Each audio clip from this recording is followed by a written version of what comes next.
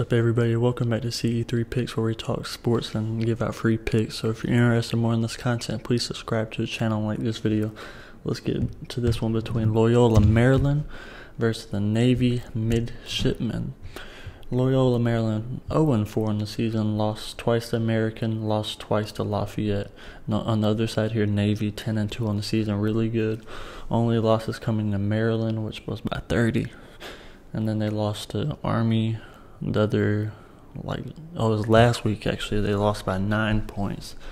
And they're giving loyola maryland plus five and a half here which is a little surprising depending how you look at it because they are 0 and 4 but their games are close. But then you do have a navy team that's 10 and 2 so i'm just not ready to back loyola maryland yet I'll take Navy minus 5.5, and that's going to be my pick. If you're interested in more of this content, please subscribe to the channel and like this video.